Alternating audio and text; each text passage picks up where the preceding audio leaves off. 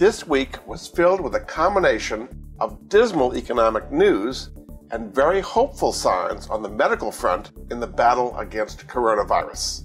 That made the stock market soar and plunge as investors swung between optimism and pessimism. Almost all the states started to reopen their economy to one degree or another. Fed Chairman Jay Powell testified to Congress about the potential long term damage being done to the economy. Let me catch you up on the events of the week and also talk about how small businesses that have taken on a huge amount of debt can get out of that debt much more easily. I'm Jordan Goodman, America's Money Answers Man, and this is the Money Answers Week in Review.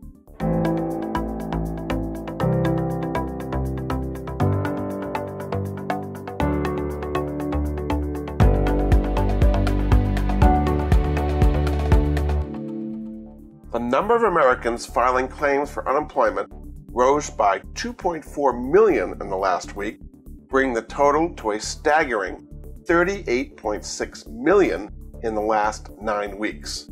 While still horrible, that's a third of the 6 million that filed about a month ago. Factory production fell by 16%, and many factories closed, quite a few of them permanently. JCPenney filed for bankruptcy, and they're going to be closing 240 stores new housing starts fell to the lowest level in five years. An economist at Stanford, Nicholas Bloom, did a study estimating that 42% of the recent layoffs will probably be permanent. Fed Chairman Jay Powell testified that this is a downturn without precedent because the contraction will go on as long as the coronavirus does, so it's very unclear how long or deep it's going to be. As a result, Powell said that both Congress and the Fed Reserve have to step up their spending and lending to lend a hand to the economy. However, it's still unclear what's going to happen in Congress because they remain divided over the direction of the next stimulus package.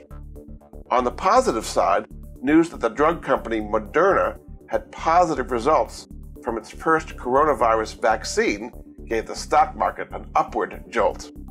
Certain retailers like Walmart, Amazon, and Target had record sales as shoppers really stocked up. Oil prices soared from about $10 a barrel three weeks ago to about $35 a barrel on the hopes that there's going to be more people using oil around the world. So I think this pattern of bad news on the economic front and hopeful news on the medical front is going to continue for the rest of the summer, which is going to cause a lot of volatility in the stock market. Small businesses are taking a real hit as they've been forced to close for months. A lot of these businesses are barely profitable even before the coronavirus hit. A lot of them have also taken on an awful lot of debt. So if this is your situation, you should use the strategy of what's called debt prioritization, where you pay the bills of the creditors that have the most leverage over you before those that have the least leverage. I can try to do this on your own, but a better way to do it is to use a company that's done this for many years called Corporate Turnaround, one of my affiliates.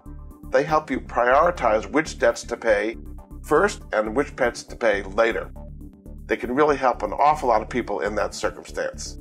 You can find out more about them at the link helpwithpayables.com or also in the link in the video description. I want you to have the tools and knowledge to do well with your personal finances in these very tricky economic times. I'm Jordan Goodman of MoneyAnswers.com, and this has been the Money Answers Week in Review for the week of May 18th.